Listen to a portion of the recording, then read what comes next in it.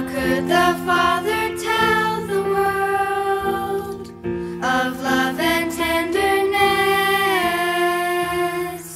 He sent his son, a newborn babe, with peace and holiness. How could the Father show the world the pathway we should go?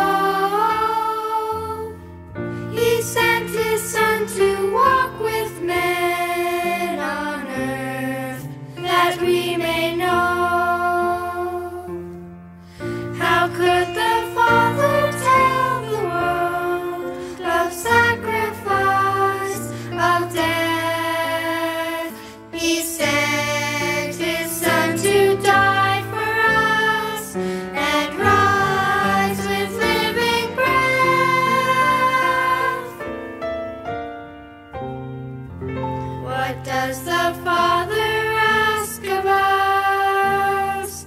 What do the Scriptures say?